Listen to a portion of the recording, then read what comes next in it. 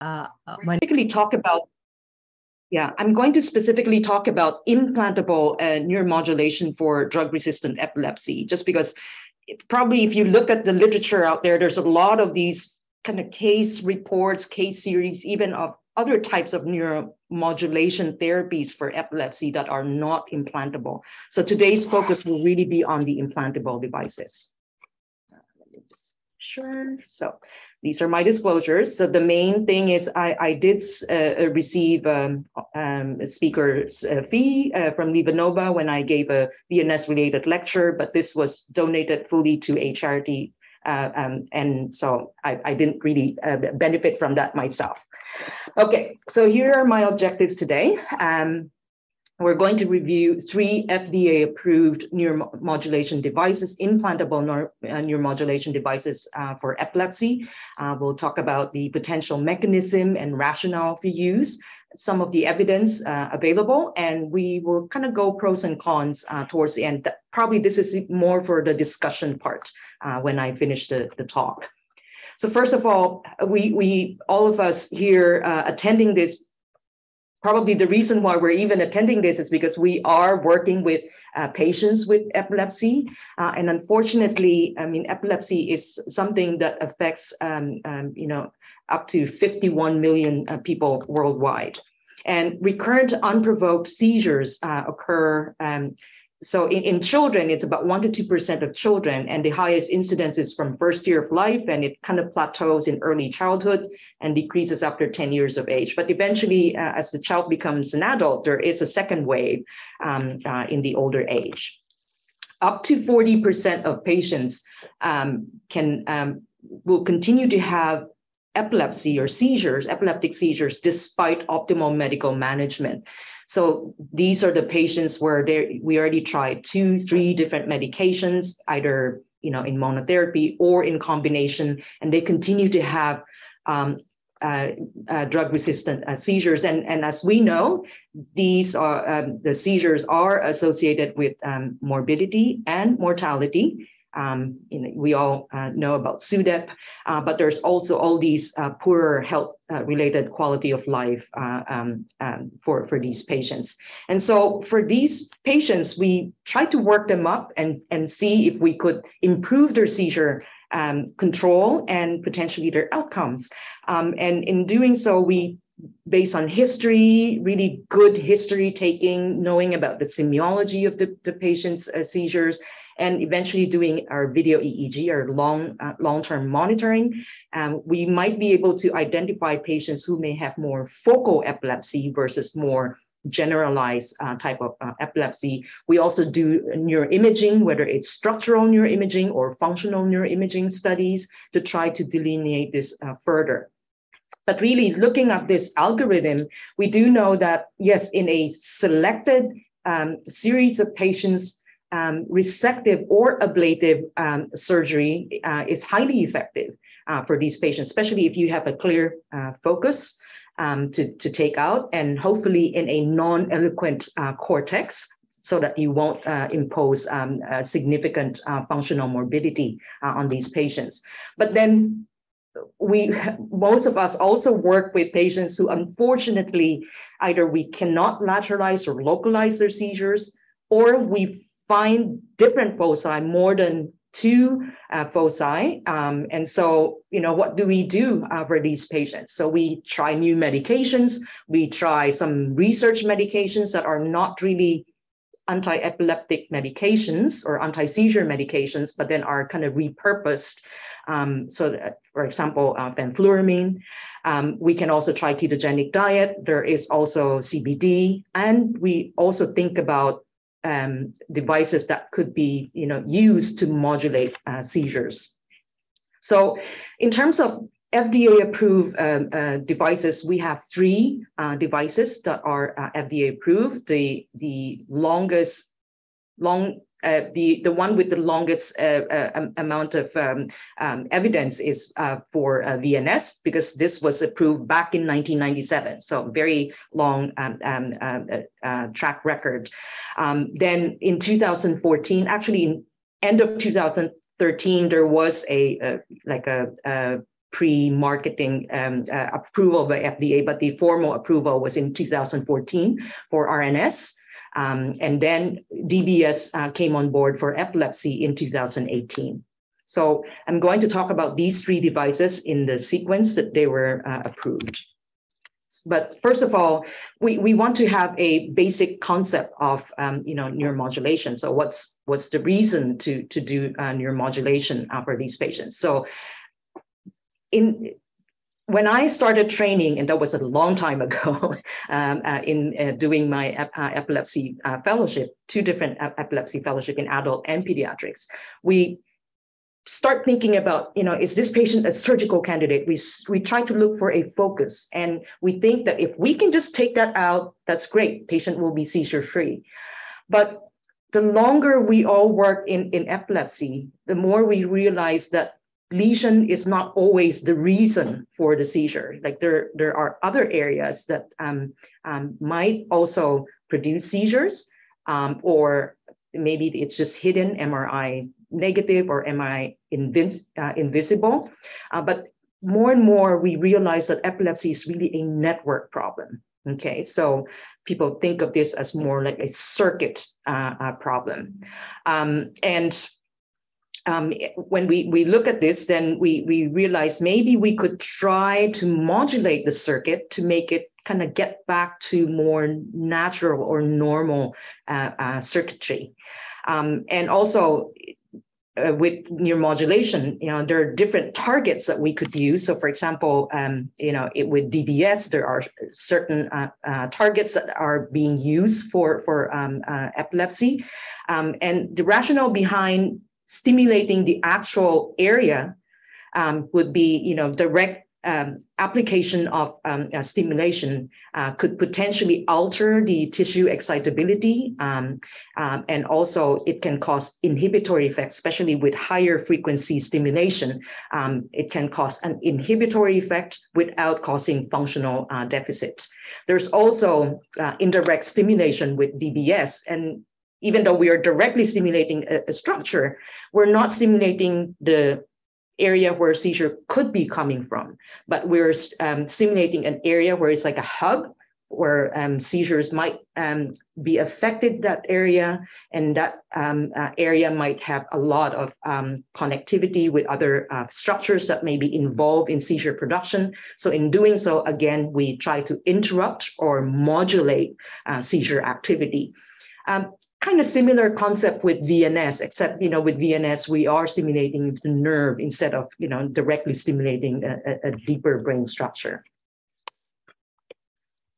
So same thing uh, as I mentioned. So with VNS, again, we're not really stimulating um, a, a directly the brain structure, but we stimulate it indirectly through um, the, the vagus nerve um, and eventually um, um, the nucleus tractus solitarius. And I'll show the, the slide on this. Um, but anyway, the, the concept of um, DBS and potentially with RNS as well is first of all, there could be a, an um, insertional effect.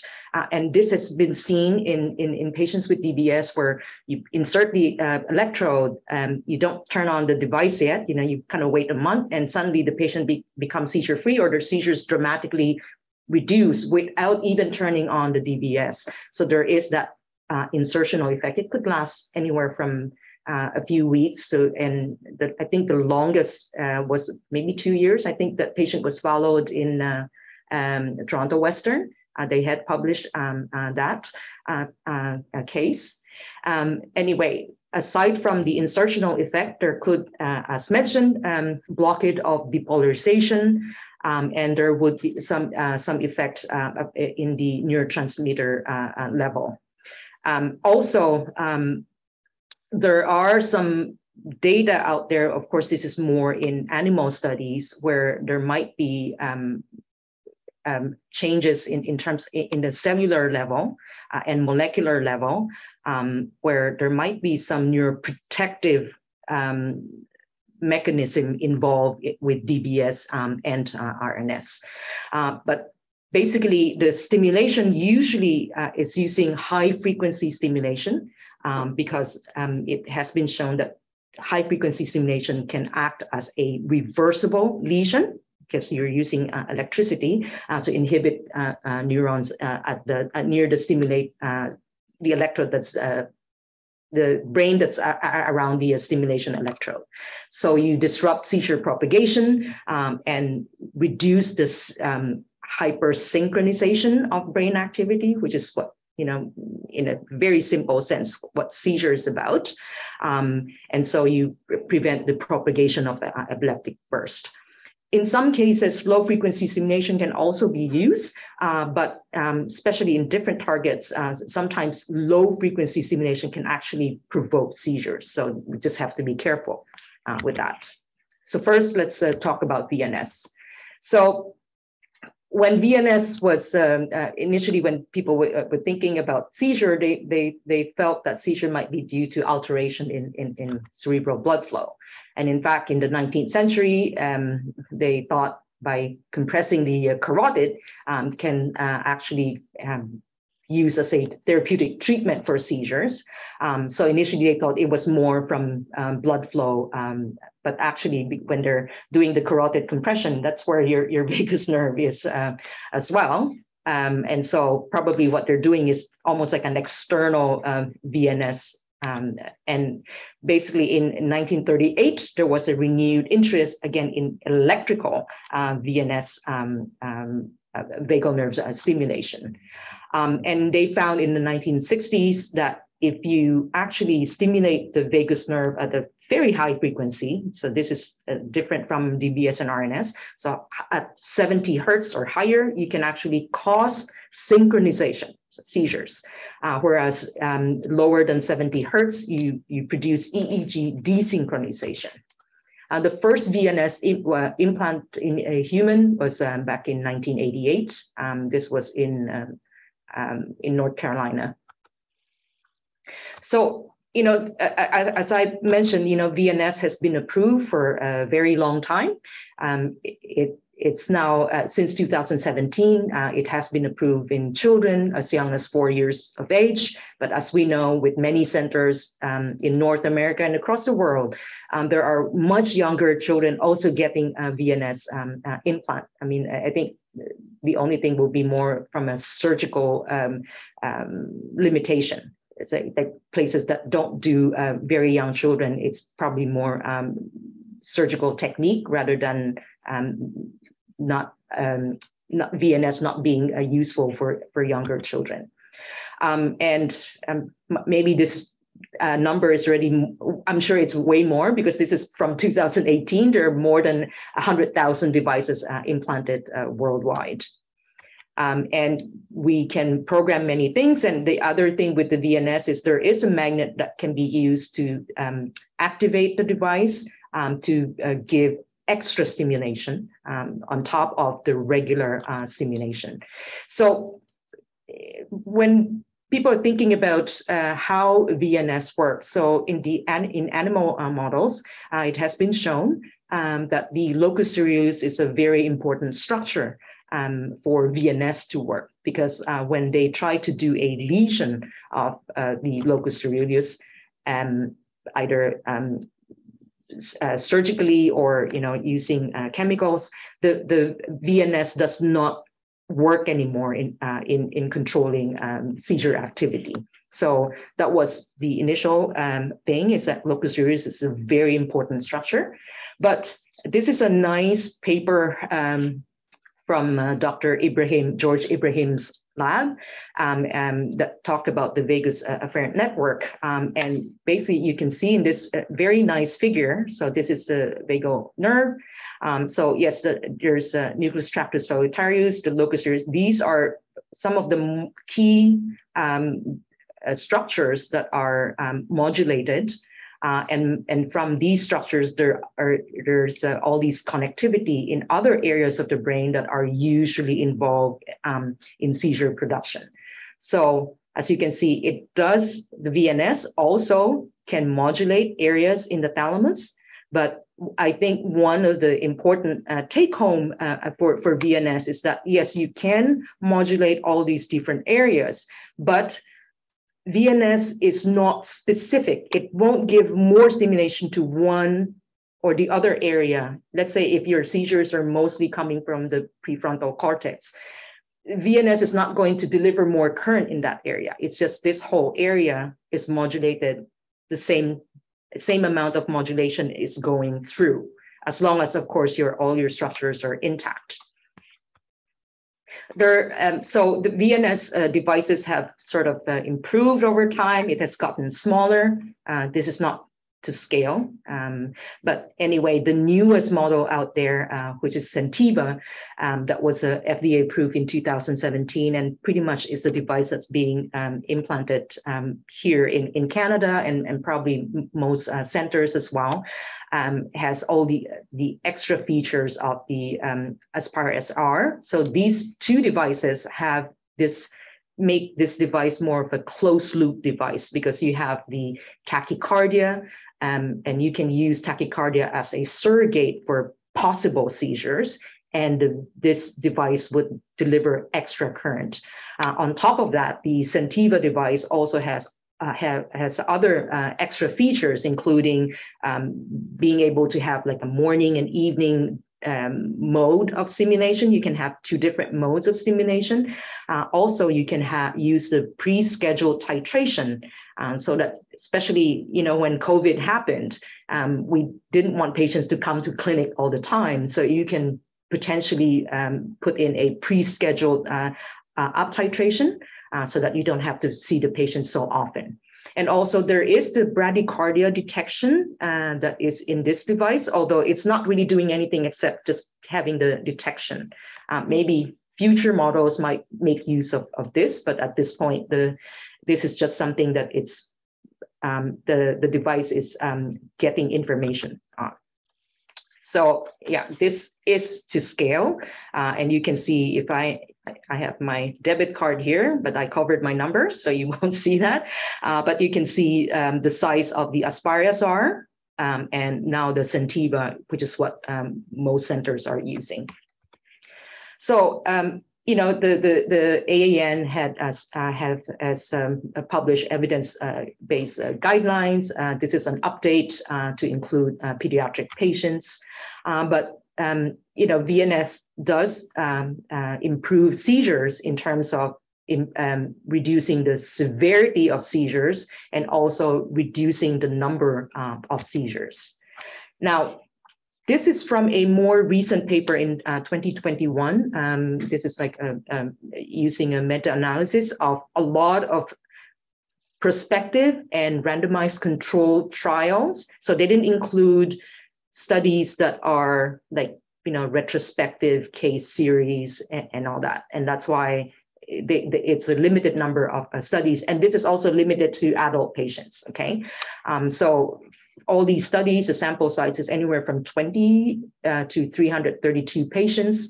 And the follow-up duration, um, unfortunately, most of these RCTs and prospective uh, case series for VNS um, are not very, very long-term uh, outcomes. They only have like some studies, there's a study that goes all the way to 60 months, but really most studies are kind of short-term um, up to like 1.3 years is the mean. So the responder rate, there is a, a, a variability between, uh, so when we talk about response rate or responder rate, these are patients who have 50% or more reduction in the number of seizures. You know, some patients might be seizure free, but you know, basically we just use 50% or more reduction as the uh, when we we talk about responder rate. So Again, there is variability anywhere from 11% to 71%.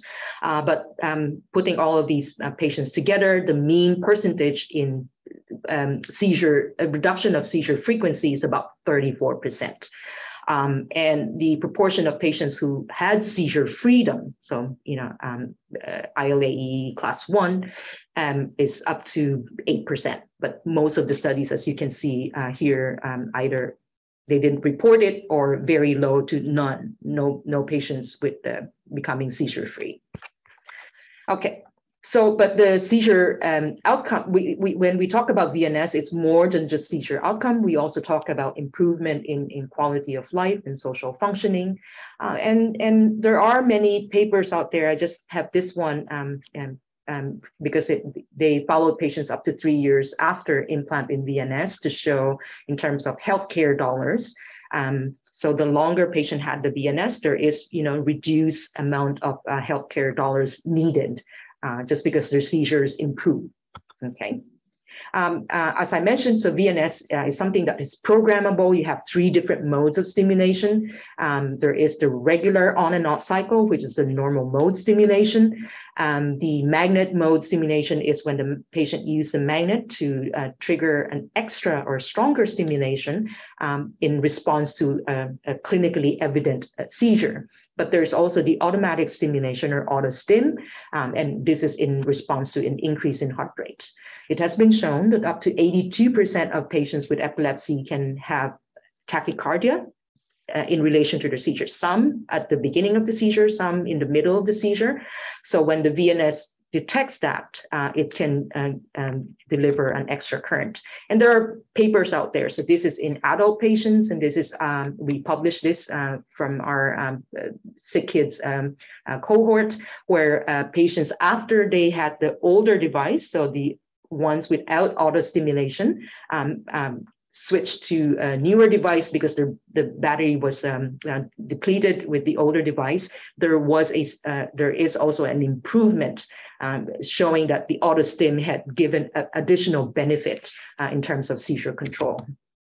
So when we uh, dose up the patient, so there's the phase one and phase two. Phase one, you kind of just go up by, you know, 0.25. With the newer models, we can go half step, like 0.125 milliamp, uh, and and and and and every center is a little bit different. Some centers might do it like every two weeks or every week or every month. Um, so there's no standard protocol uh, for, for people to, to do, but you know, it, really depends. I, I tend to use every two weeks, um, especially now with the newer model where I can do pre-scheduled up titration. So when I'm doing phase one, I, I use every two weeks also to have patient kind of get used to the simulation to uh, avoid the side effects. Once you get to about 1.5 uh, milliamp, then you go to phase two, you start um, uh, playing around with the duty cycle. And, and so there is this nice table uh, showing uh, what we mean by duty cycle. So when we, when let's say I said duty cycle of 10, it means patient um, is getting um, stimulation of 30 seconds every five minutes. So off for five minutes, on for 30 seconds. So you can start kind of going up on your duty cycle once you, you get past uh, phase one dosing. And the nice thing, as I said, with the newer model of VNS is that um, you can actually do this scheduled uh, up titration. You, you can do every two weeks or every week, whatever you want.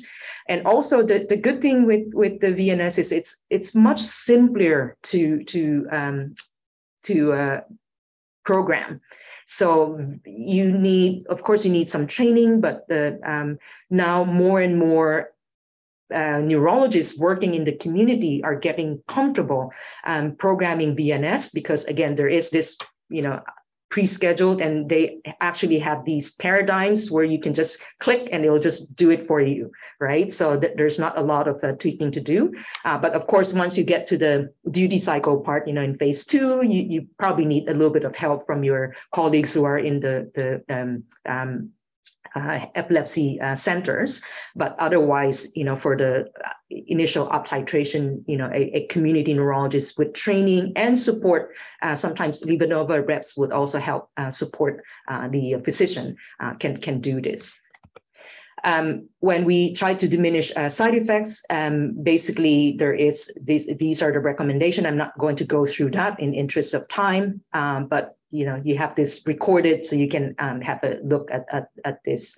So there are these uh, common uh, side effects, but one of the thing um, we've noted more and more now. So this was initially more in adult population because yes there are many adult patients uh, with epilepsy who also have sleep apnea and it has been proven that you know um, patients who already have obstructive sleep apnea could potentially have worsening of their sleep apnea with VNS.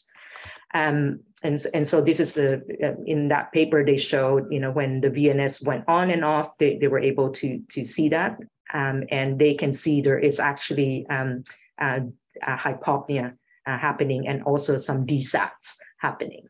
So this is uh, something important uh, to note because as you know, when patients um, with OSA, sometimes their seizures actually also worsen. And if you're not getting improvement of your seizures in patient with VNS, you might want to um, uh, check on this and make sure um, uh, that the VNS was actually not contributing to a worsening of OSA. And if that's the case, especially if the patient has the newest device, the Sentiva device, you could potentially tweak the evening uh, dosing uh, to hopefully uh, reduce this. We've seen this in children as well. So um, in fact, this is one of our patient uh, at Sick Kids who had actually um, um, who had already pre-existing OSA, but at that time I wasn't asking these questions when I was doing my consult. Um, but this patient actually had worsening of, uh, of um, uh, OSA because he, he was admitted uh, after the implant and we noted the DSAT because we turn on the device right away um, uh, in, in, in, our case. And, and so eventually this patient uh, had consult with respirology and was able to use the CPAP machine. So we were able to continue up titrating uh, the VNS for this child. in terms of um, patient selection, um, it's just there's so many articles out there saying oh this type of seizure uh, it would work better and and not. Uh, but it's not really consistent. But i think our experience at sick kids and I, actually this is an, a paper that was published in, in japan by uh, one of our uh, former uh, research fellow um, at sick kids as well uh, two of them actually. Um, they published um, patients with um, either epileptic spasm or tonic spasm versus those with kind of partial seizures uh, or with uh, secondary uh, or bilateral tonic-clonic uh, seizures. Um, they followed these patients for two years uh, after VNS was implanted. And what they've noted is that those patients with epileptic spasms or tonic spasms, they don't tend to improve as much compared to uh, patients with um, the, uh, the um, partial seizure or um, uh, secondary generalized uh, seizure. So as you can see, none of the patients in, in this group actually had McHugh1 plus one, which is like 80 to 100% uh, reduction in seizure uh, frequency. Um, you have some with the, the partial seizure group, and in fact, improve even more um, by the second year.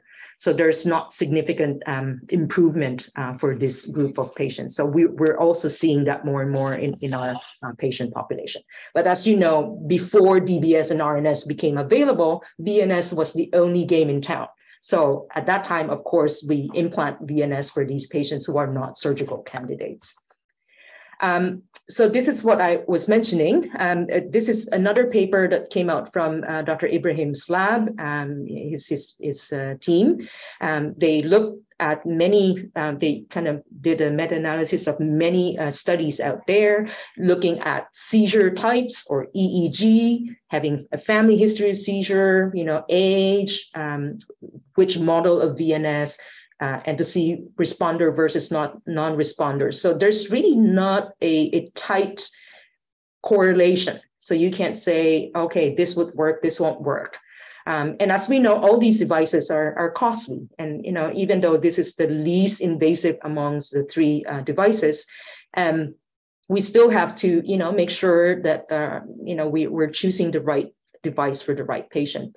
So in his his team also looked at um, uh, using um, multimodal uh, connectomics, and what they've noted is that patients with um, higher connectivity actually had um, um, these are uh, the patients who tend to be responders. Oh, but of course, the, this, this is a study um, that's retrospective as well. also, uh, from again from Dr. Ibrahim's lab. Um, they use SEF, so this is somatosensory evoked field um, using MEG uh, as a potential uh, biomarker. So they, they use the MEG data from patients who had their pre-surgical evaluation before they got the VNS implanted um, and when, when they look at um, this data, um, what they've noted is that those um, with um, the responders to VNS uh, are patients, again, with more widespread uh, SEF localization. So um, kind of showing that significantly greater functional connectivity uh, uh, in, in these patients. Uh, these are the patients who tend to have a better response to VNS. So potentially this could be used as a pre-implant marker when you're trying to select patients who may or may not um, be a candidate for VNS. Um, there are other many other papers out there uh, looking at different biomarkers, but really the, the, the take-home message for, for all these papers is that the more deviation you have from a normal brain, um, whether it's structurally or you know connectivity-wise, more deviation, worse outcome. So that's that's the, the bottom line. So now let's let's move on to RNS. I only have a few slides here because I'm this is basically from all my readings because I have no experience with RNS, but as you know, RNS is only available in the US, not anywhere else. Um, and, and this was approved back in 2014 for adult patients with drug-resistant epilepsy, and they have to have one or two, the, maximum of two um, uh, uh, epileptic foci. Um, and this provides a closed loop uh, stimulation. Um, when an abnormal ECOG is uh, seen or detected, it would then uh, give a stimulation in an attempt to stop or uh, um, desynchronize that activity. And it is cranially implanted. So you have um, two electrodes. You can have a combination of either two depths or one depth one strip or two strips. So, and actually you can implant up to four, four leads, okay, but only two can be connected at a time. I mean, I guess unless you put in two uh, different generators. So one generator can only um, uh, take care of two uh, electrodes. Um, and basically, this is a much more personalized um, uh, um uh, device because you try to use the patient's EEG or ECOG to um, um, then uh, make your uh, stimulation paradigm uh, for these patients. Um, so this is just a, um, um, what I'm uh, showing. So it does record ECOG, but it's not continuously recording ECOG. Actually, only the uh, times where there is well, the seizure or maybe like increase, you can uh, manipulate that, uh, program that, uh, it will only save those segments. So the interictal, like long periods of interictal activity is not going to be saving that uh, um, uh, ECOG. Um, and um, in terms of the clinical trials, so really um, it the uh, pivotal uh, trial um, was what really uh, pushed FDA to have, have a very quick uh, approval of this device um, because it did show um, really um, uh, good outcomes. And this, um, there is now up to nine years of uh, data, uh, which um, actually has more than 1,895 patient implantation year um, of uh, data. Um, and they have up to 73% responders, again, 50% or more reduction in seizures. Um, and um, actually, out of these responders, 35% had um, more than 90%, uh, this should be percent, uh, seizure-free uh, uh, reduction. Um, and some patients, um, a, um, a, a, big number of patients actually also become seizure free um, uh, with this device. So there are um, uh, potential side effects. The battery life uh, is about 3.5 years, but with the newest uh, model out there, uh, it could be up to eight years.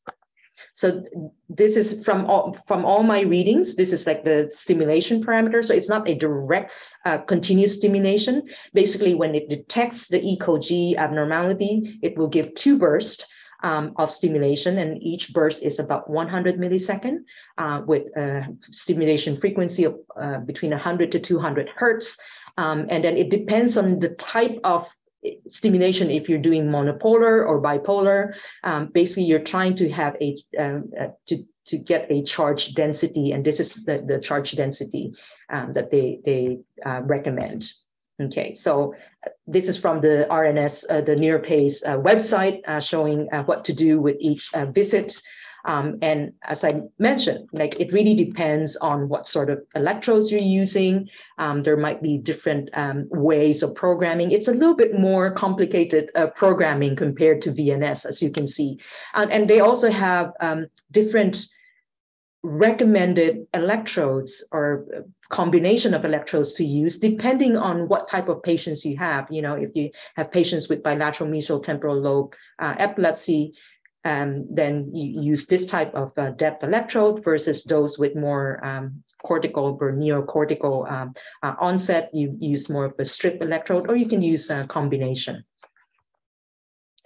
Um, there are many studies looking at biomarkers, but this was the, the paper that actually looked at pre-implantation biomarker. Of course, they, they did this after the patient already got the implant, but they, they look now at the intracranial EEG of these patients before um, they got the RNS. And what they've noted um, is that um, patients who have higher um, high gamma band um, uh, synchronous, uh, synchronizability, very long word. Um, this uh, can distinguish between those who have good response versus not so good response with RNS. Um, and uh, what they saw is that um, high gamma synchronizability is inversely associated with the degree of uh, therapeutic uh, response. So they're saying they need more data, of course, but they're uh, trying to um, um, show that this could be a potential marker, biomarker, uh, when you're trying to choose a patient if they're going to respond to RNS or not. Now, um, quickly, let's go to DBS. So DBS has been used in movement disorder for a long time. Again, you know, ablation, um, uh, the the, um, the uh, study um, uh, in in in DB um, in movement disorder is really neuroablation uh, treatment, and subsequently using electrical uh, stimulation to to do this ablation. Um, eventually in 2018, so the, the Sante trial um, has been going on for many years, but uh, subsequently after they also showed their long-term uh, uh, outcomes, in 2018, FDA approval was given uh, to DBS for epilepsy.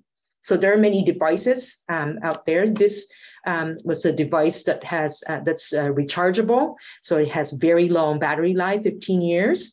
Um, but the current uh, model that's being used for uh, epilepsy, and I, I, believe also for movement disorder, is the uh, Percept uh, device. So this has the advantage of having brain sense. So basically, it use uh, it can record local field potential uh, in the electrodes that you use to um, um, record from the thalamus, um, and it doesn't do anything yet to those um, information, but perhaps the newer model, once newer model come out, might be able to use those um, to help tweak the device and maybe even make this into a closed loop stimulation. But right now, DBS is an open loop uh, device because it, it, it just kind of go either you have a duty cycle, you know, on off duty cycle. In the Sante trial, they were using one minute on, uh, five minutes off. Um, there was no big reason why they chose that except to save battery life.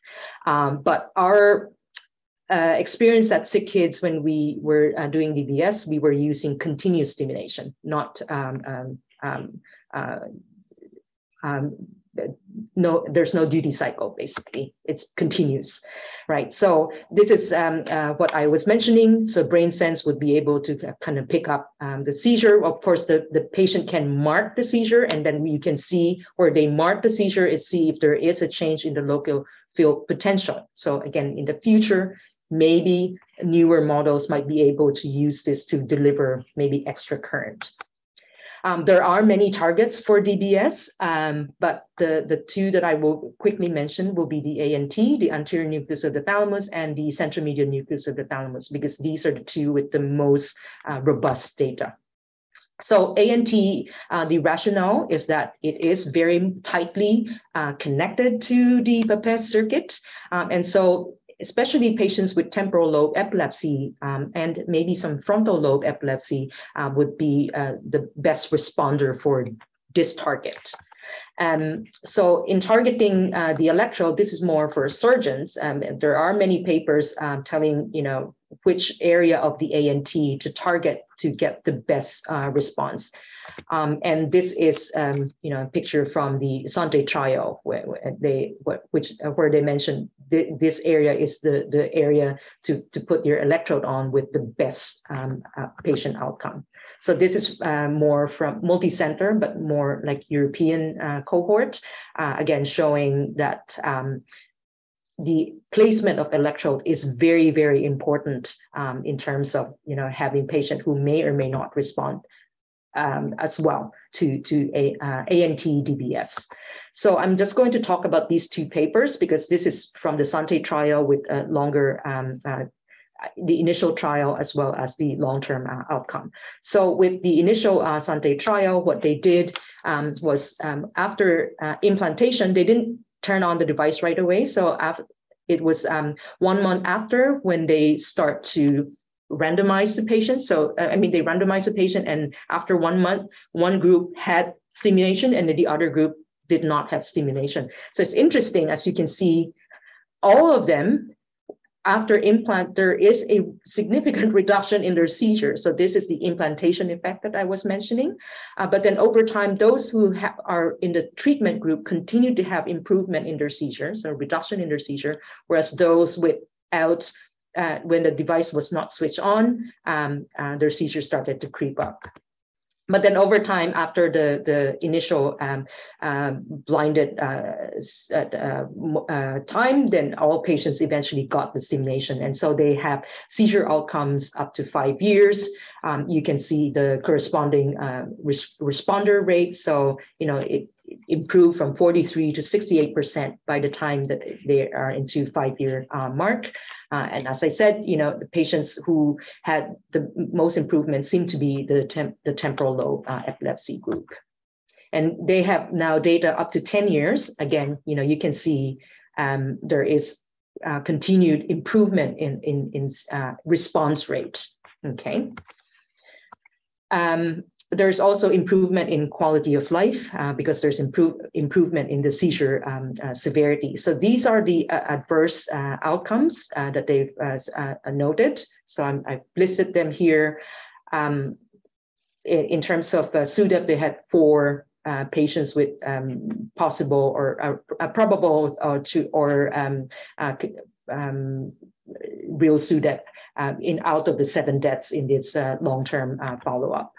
There's also, so one of the things with DBS is a lot of the patients did complain of mood problems and memory problems, but when they did more um, uh, objective uh, measures, there's actually no significant decline um, uh, in uh, cognitive uh, uh, decline or, or depression score.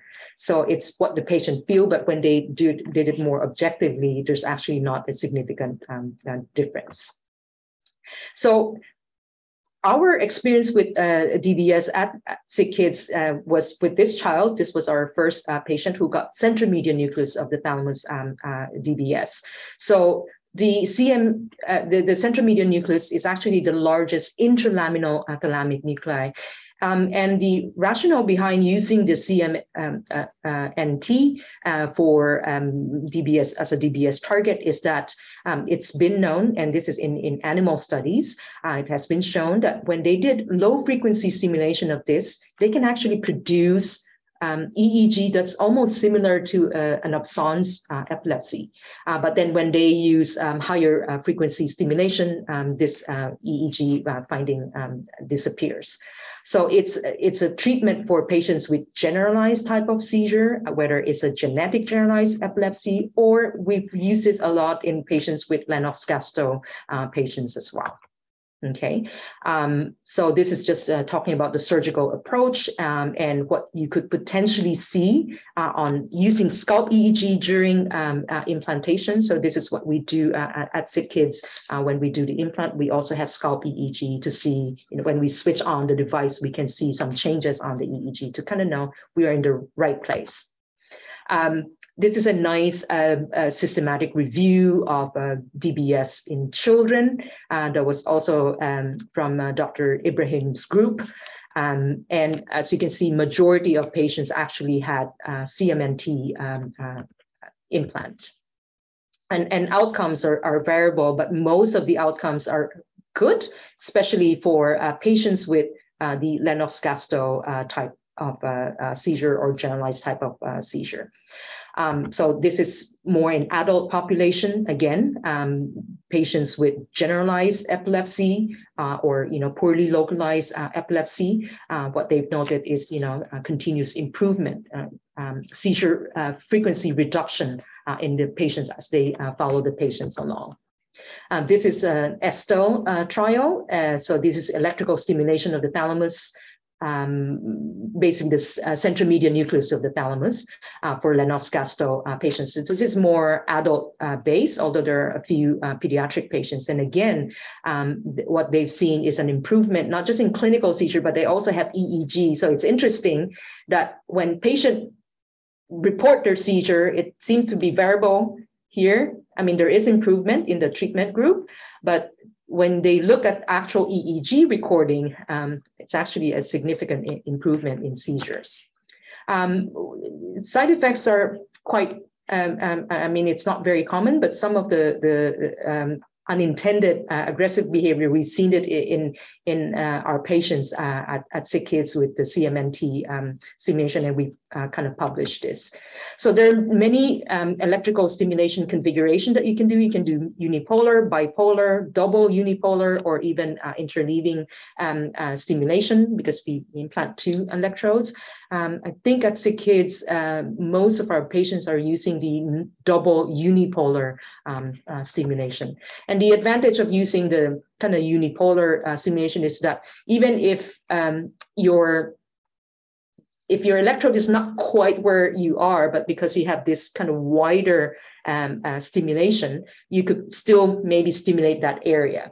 Uh, but then it comes with a bit more side effects because you're you're kind of doing it this way. Um, but I think the newer implants now at SickKids is using uh, directional um, uh, electrodes. So you can see, you can actually stimulate just here or here instead of giving this whole thing. So potentially can reduce uh, side effects as well. This is the um, for um, ANT DBS dosing, uh, um, and this uh, came from uh, Dr. Fasano's group. Um, well, it's a multi-center uh, um, uh, collaboration, uh, but Dr. Fasano is the, the main uh, author for this, uh, uh, talking about how to um, dose up the patient's DBS if you have the anterior nucleus of the thalamus. But you could potentially use similar setup for CMT um, dose titration. So this is just showing you the um, stimulation paradigm. Uh, and this is for the central median nucleus. Uh, as I said, at SickKids, uh, the, the stimulation uh, use at SickKids is continuous versus we, we don't use uh, cycling. Um, again, using connectivity uh, as a, a, potential marker, um, but this is done in post-DBS patients. Again, the bottom line for, for these is that you know patients with whose EEG or you know connectivity study is closer to control or normal patient, they are the ones that would uh, that tend to be uh, uh, have improvement, um, significant improve or better responders for for DBS. So now we're getting to the final few slides. We have these three devices, and here we have the pros and cons. So if a patient, if you want to go with the least invasive device VNS will be you know the, the, the, the device that you would choose. Um, the advantage of that um, is that also um, it's again it's less invasive um, and also it is now a closed loop system because we're using you know most centers are using the Sentiva or Aspire um, uh, SR which has the automatic stimulation uh, and also there's the uh, advantage of using the magnet to give extra stimulation if needed. Okay. Um, um, it has the longest track record. Uh, unfortunately, there's not a lot of publication in a prospective way uh, with long-term outcomes, okay, as I, have mentioned earlier. Um, but um, the, the thing with the uh, VNS um, is that um, the advantage uh, again is that um, also it's a little bit simpler to to uh, program and so there are, you don't really need the patient to be followed in a, an epilepsy center. Uh, eventually, they can follow with some of the community neurologists who are comfortable or who have been trained uh, to do VNS um, uh, adjustment. Now, if you want to go to a, a more um, uh, invasive um, uh, stimulation, um, you have DBS and RNS. Now, DBS, um, the FDA approval um, is, um, uh, and most of the publication is more for the anterior nucleus of the thalamus, and now more and more data coming up for the central centromedian nucleus of the thalamus. You can, you have to be a little bit more selective. So patients with more temporal lobe type of epilepsy, you would want to use uh, the anterior nucleus of the thalamus as your target versus those with Lennox-Gastaut or poorly um, uh, localizable um, uh, targets, then you, you would use the nucleus of the thalamus.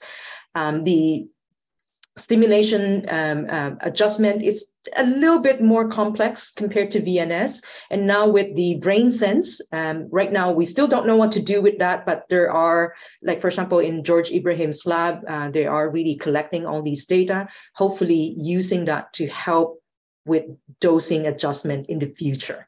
Uh, and maybe potentially the new, newer device in the future will make DBS a closed loop device if they know what to do with the brain sense um, uh, technology.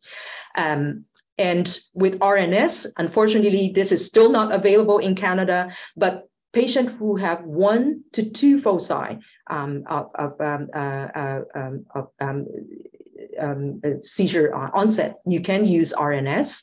Um, and uh, again, it seems like between DBS and RNS, they're quite comparable. And actually, there, there are some papers. So, so this is just, a, I, mentioned about this uh, meta-analysis by the ILAE, um, looking at all these prospective and randomized controlled trials. Uh, again, they use only adult patients because they want to compare kind of similar group of patients. Okay, um, so here are the long-term um, uh, follow-up and long-term outcomes. Um, uh, VNS has uh, there are a lot of papers out there uh, talking about you know like the uh, financially how it improved um, um, healthcare spending uh, for patients, whereas RNS and, and DBS the, the, the long-term seizure reduction uh, outcomes are, are much you can see it is much better compared to uh, to VNS, but because it's much more localized stimulation. Okay. Um, potential advantages, disadvantages, I already kind of mentioned briefly when I was talking uh, uh, about uh, the devices earlier.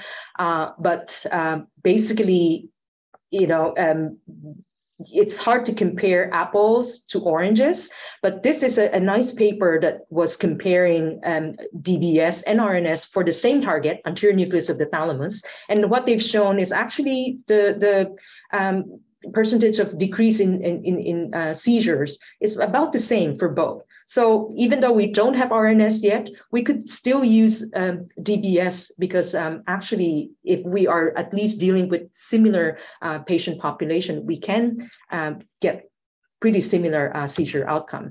And same thing, uh, this is um, comparing uh, DBS and RNS in children with drug-resistant epilepsy. Again, the outcome um, is actually quite similar for both. Again, you know, if you're talking about uh, kind of similar patients. But again, if you uh, were to look at um, uh, DBS, most of the patients actually had the central median nucleus of the thalamus. There are a few papers or case reports out there now showing uh, combination therapy. So these are patients who had VNS before and then got DBS or RNS. And what happened is when the VNS battery died or got depleted, there was a worsening of the seizure until the VNS was replaced. So kind of let you wonder that hmm, maybe combination therapy can also be um, uh, considered. So this is just an algorithm that I, I, I, I would like to show. And I mean, you could kind of take home message is that, you know, patients with generalized type of seizure or non-localizable uh, seizures, especially if um, um, parents don't want to have um, invasive um, type of uh, stimulation, you can consider VNS. If they're local, non-localizable, but maybe focal, you can um, uh, use VNS or DBS, maybe leaning more towards DBS if you have a clear target, for example, temporal lobe epilepsy. So you can go uh, ANT. Um, and then those who are highly localized, then you have the option between um, VN, um, well, the three options depending on patient preference and also, you know, what what um, your center um, uh, has available. So all three can be used. So in, in summary, so neuromodulation is a safe and potentially effective option for adult and pediatric patients with drug-resistant epilepsy who are not candidates for resective or ablative uh, surgery. Um, again, you have to choose your targets, and maybe there are some patients who might respond better to certain uh, uh, stimulation uh, uh, um, device. Uh, but you could also consider um, combination therapy, just as we do that with our patients with drug-resistant epilepsy with medication. We also do combination therapy. Potentially, that can also be considered in our patient population. And we still need a lot of research to know biomarkers, hopefully pre-implantation biomarkers, because these devices are expensive um, and also they're not without side effects. Uh, and, and also, you know, it, it, they are fairly invasive because they're surgically implanted. Uh, and with that, I end my um, presentation and I'll welcome some questions.